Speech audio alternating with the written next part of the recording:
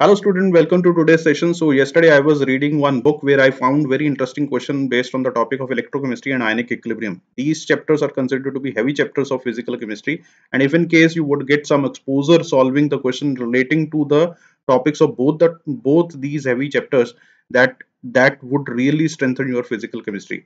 The questions which I found are not very heavy. These are very easy crisp questions can be done by many of you orally but the how do you get that the solution of that answer uh, is a important discussion so here comes the question so the examiner is asking at a T Kelvin the pKw of water is given as 14 and they are asking what is the SRP of this reaction. This is the one question which you have to address with. Second question they are asking that at T Kelvin pKw of water is 14 then which among the following statement is correctly written. So they are talking about the temperature, they are also talking about SRP of water, and they are also talking about pKw and pKa. So before, although all of these terms you are quite aware of, at times you would find that you are not having the clarity. So after the discussion of this uh, particular topic for two, three minutes, you would get to see a good amount of clarity. So first, let me talk about the discussion of the water itself. Water is a weak electrolyte which can undergo self-dissociation. Now, what does it mean? That if in case you have a glass of water, in that glass of water, what are the entities actually there in that water? You would find some amount of water as a liquid pure and some water molecules, this lone pair of this one of uh, one of the water molecule would abstract H positive from the other one resulting in the formation of H3O positive and OH negative. This is what you call it as self-dissociation. So along with this pure water, you also would see some cations of H3O positive and OH negative that is the hydroxyl ion and this particular dissociation is a endothermic. Delta H for this ionization is uh, endothermic that it, it would require heat to do the dissociation.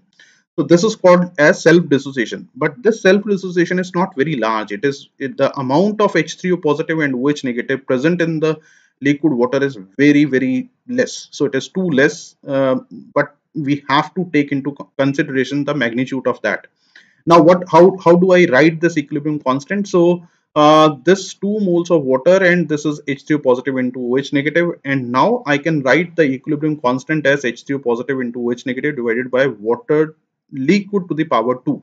Now at times people feel little confused with that why we have written as water liquid. What does it mean? What is the meaning of this? So when I talk of uh, molar concentration of pure water, this is the scare bracket tells about the molar concentration. Now what is molar concentration? When we talk about molar concentration of water, what exactly do I mean by it? I'm going to say that the concentration of pure liquid, pure liquid or pure solid remains constant during the progress of the reaction. It would not be changing. The concentration of pure liquid or pure solid would always remain constant. Uh, now the point is, if I have to talk about the concentration of water, how do I get it? So it is simply like this. If I would assume that at uh, uh, at some temperature, the density of water, if I say the density of water is 1 gram per ml. So what does it mean? If I have given you mass of water as 100 grams if i would say uh, or 1000 gram. 1000 gram of water is being given to you. That 1000 gram of water would definitely be occupying 1 liter because its density is 1 gram per liter. Now if i have to write the molar concentration molar concentration means molarity. Molarity is being shown uh, in a way of scare brackets so what is molarity? Moles per liter. So 1000 grams divided by 18 18 is molar mass so you would get the moles and these moles are present in 1 liter. Moles dissolved in 1 liter is molarity. So this comes out to be 55.5 molar moles per liter. So this the molarity of pure water is now this molarity of pure water would remain constant during the progress of reaction. What the concentration of H3O positive and OH negative would change with change in temperature.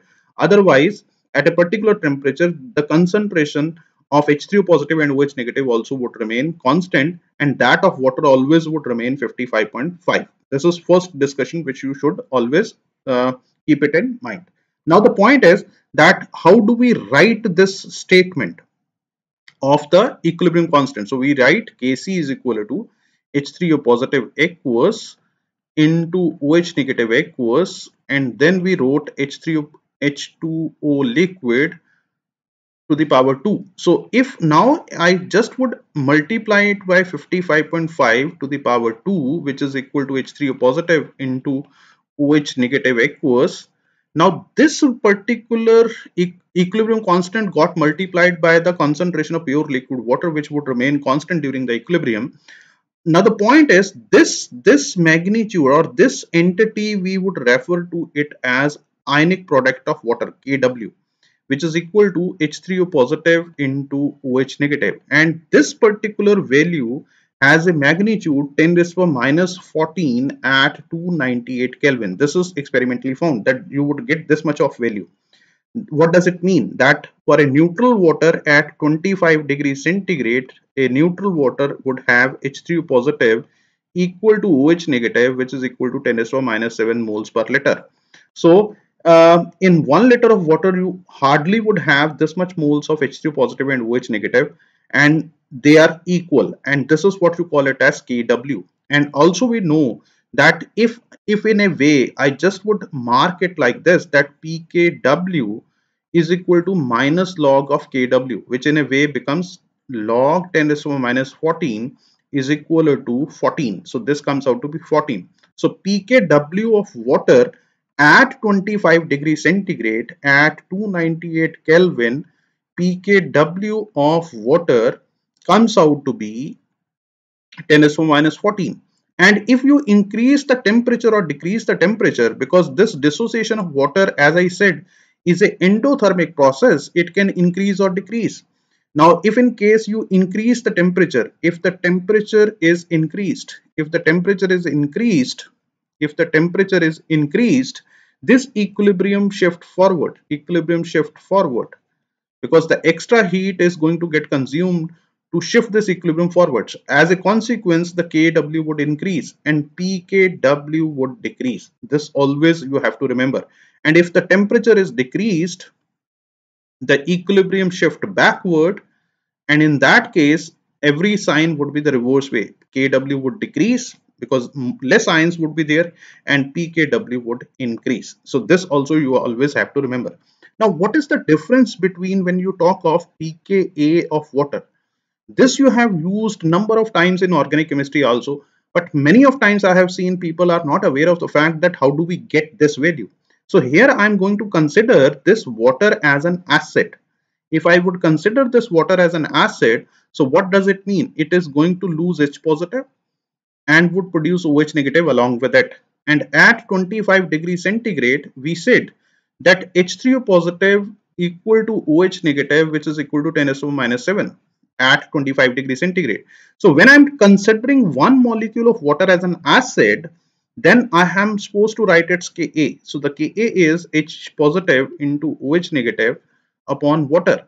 Here you would not get that scare. That scare would not come here because you are talking of Ka. You are considering water as an acid. So this into this gives you 10 SO minus 14 divided by 55.5. So this value comes out to be 0.018 into 10 s power minus 14 which in a way becomes 1.8 into 10 s power minus 16. So this is the value of Ka. Now we are supposed to say here pKa. So the pKa becomes minus log 1.8 into 10 raised power minus 16. So this in a way becomes 16 minus log 1.8 which in a way becomes 15.7. So there are two terms came pKw which is very often very aggressively you are using at different uh, different uh, for different numerical purposes and also you would get to see the pKa of water that is 15.7 and this is being specified at a temperature of 298 Kelvin. So let me address the first question and if or, or the second question first. So when we talk of uh, pKw of water as 14 so that means this is at 298 Kelvin. So these two statements are wrong in a way. Now the uh, third statement they are talking of SRP of water and which is negative of SOP of uh, water. This is also very important discussion. So before I go into that, let me see the D option. Uh, when T is 298 Kelvin, pKw and pKa of water are unequal. So this in a way is a correct statement because this was 15.7 and this was 14 so this you always have to remember. Now we have to also discuss this part which is a very very interesting part. And that is in a way is the first question which we are referring here. So let me discuss that and uh, conclude it uh, when you talk of srp of water what does it mean srp of water is this this statement if i would write water takes an electron changes to hydrogen plus OH negative. Now, what actually has happened? So this is in plus one oxidation state. This is in minus two. This is in zero. This is minus two. This is plus one. So one of the hydrogen has undergone reduction because its oxidation, uh, its uh, oxidation state has decreased. So this is the the hydrogen which underwent reduction is present in water. So we will be saying this is the reduction potential of water the reduction potential of water you always have to remember has a value 0.826 volt this is the value which you would get for the reduction potential of water as to be 0.826 and that for when I talk of oxidation of water, how what does it mean? Oxidation of water. This hydrogen is already in plus one oxidation state and this is in minus 2 oxidation state who is who would be undergoing oxidation if i have to do the oxidation of water so it would be this way that 2h positive plus uh, half oxygen plus 2 electrons this is what you call it as oxidation of water where it is water is changing into oxygen because this oxygen from minus 2 goes to the zero so if it goes from minus 2 to 0, obviously it is going to lose electron. So make it a point, generally people have this area of confusion that if I will say copper 2 positive plus 2 electron changes to copper versus copper changes to copper 2 positive plus 2 electron. Here if I have to write this is reduction potential of copper which in a way is 0.34 volt. And when I talk of this way the oxidation potential is minus 0.34 volt. So generally we will say that reduction potential is a negative of oxidation potential. But this statement is valid if the species which are there on the reactant side and product side are exactly the same when you swap the reaction, when you reverse the reaction. If you swap the reaction and you would get the same entities, then this is valid. But not in the case of water because here I'm saying the oxidation potential of water is to be minus 0.826 and that of the uh, this is the reduction potential and if you talk of oxidation potential this is minus 123 volt. It is minus 1.23 volt. So the oxidation potential and reduction potential of water are not same because the reactant and product on swapping are not the same one this is very very important generally people are not very clear with it as i'm saying that um, sometimes very simple things we use a lot, but we are not having that clarity into that particular discussion. So that in a way shows that this statement is also wrong. The SRP of water is not a negative of SRP of SOP of water. So this D answer is the right one. Now I already have solved this particular question that at when the pKw is 14, so this value is happens to come out to be minus 0.826 uh, volt somewhat about this value. This is the answer. Now the question here is if you have remembered it it's fine nothing wrong in it but how do you get this value is also a very interesting discussion. Let me do it in a speedy way and then we will conclude today's session now how do you get for this? So if i would write dissociation of water like this so here you have to write it like this. And if I just would write H3O positive takes one electron changes to half H2 and water. And along with it if just like the Hess's law in the thermochemistry you want to make a given reaction. The given reaction is this. I just would want to make this reaction and I'm going to use the above two reaction to make this particular uh, statement so I shall be getting this one so just see into it that if reaction 1 and reaction 2 are added, am I getting the reaction 3? I am perfectly right. So if I just would uh, do it hurriedly that one of the water got cancelled here and H3O also got cancelled here. So one water is left and that is this water, water plus electron because electron is also there gives me hydrogen and OH negative. Now simply I just have added the two equation to get me the required equation. Now, how you go for it now? Now, here is an important viewpoint which you always have to remember.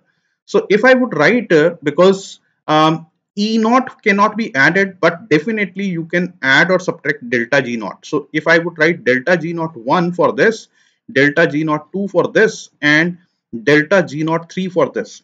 So, what I'm saying is delta G naught 3 must be equal to delta G naught 1 plus delta G naught uh, G naught 2. So this is what you always have to remember. So what I did is I just have wrote two equations and from that two equation I created the third equation and now I am saying that uh, during this uh, uh, this this uh, uh, addition of first and second delta g1 naught and g naught 2 can be added to give you the last equation.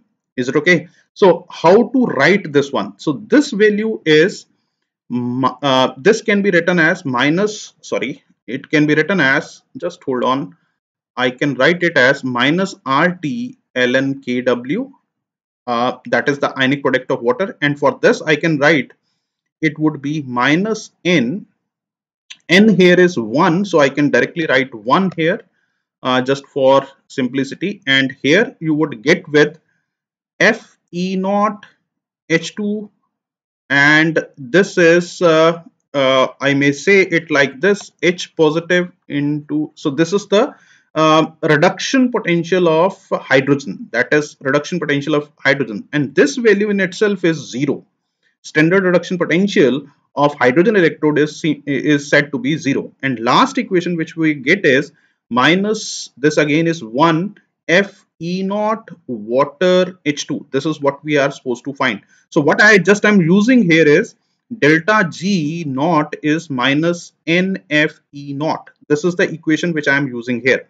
So using this, what I would get here is with that I would get minus uh, uh, E or minus if I have to write just hold on. It is giving me trouble. Delta g naught 3 is equal to delta g naught 1 uh, g naught 1 plus delta g naught 2 so here i just would get minus nf e naught h2 and this is what you call it as minus rt ln kw and this is your minus nf e naught h positive h2 so this I'm referring it to as this is 1, this also was 1 and just would divide whole of this equation by nf minus nf. What I am uh, arrived at, I would get this entity as my answer. Minus is also being omitted rt f ln kw and this value I set it as 0 so this entire equation becomes 0 so you are left with this equation. Now you have to solve this. So what I would get with water H2 here you would get with RT and F uh, this is LNKW which can now be written as 2.303 RT F log base 10 kW and this term if you add 298 Kelvin here and this value is 8.314 and just Faraday's constant you also know 96500 now, if you add all of these values, this would give you 0.059 log base 10 kW. So on solving this particular thing, what I would get here is E naught water H2 gives me 0.059 log 10 raised to minus 14. So which in a way becomes 0.059 into 14 uh, minus 14. So this would give me minus 0.826 6 volt. So this is the answer for that particular discussion. So I hope you have enjoyed today's session. Although the things are very, very uh, crisp, simple, which we frequently are using, but after the discussion, you are able to get that how do you see these values being coming in the uh, data that how do you get these values. Thanks a lot. Have a nice day. Stay safe and take good care of yourself.